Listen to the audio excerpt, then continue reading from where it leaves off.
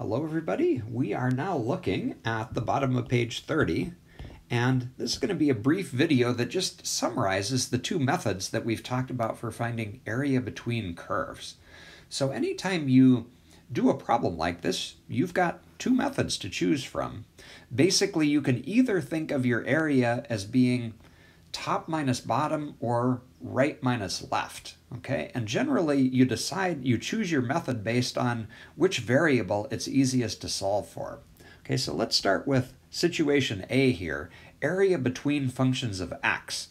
Here's the way that we would picture that. Suppose that you have two functions in the form y equals f of x and y equals g of x, one on the top and one on the bottom.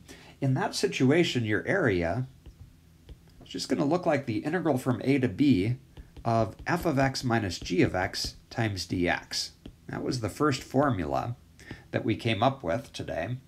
And the thing to notice is that f of x is the curve that's on the top of your region and g of x is the curve on the bottom. Okay, graphically you can think of this as just f of x minus g of x is, is representing the height of this rectangle and dx is the width, and then the integration just adds those areas up to give you your total area.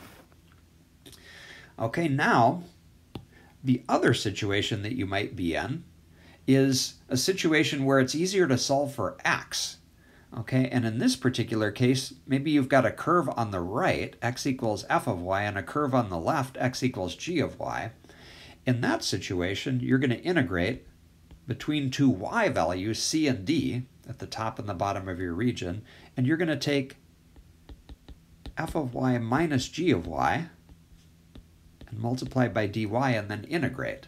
Notice that from the picture this time, f of y is the curve that's on the right, and g of y is the curve that's on the left. And again, f of y minus g of y is giving you the length of this rectangle, and dy is giving the height, so you're talking about an area again.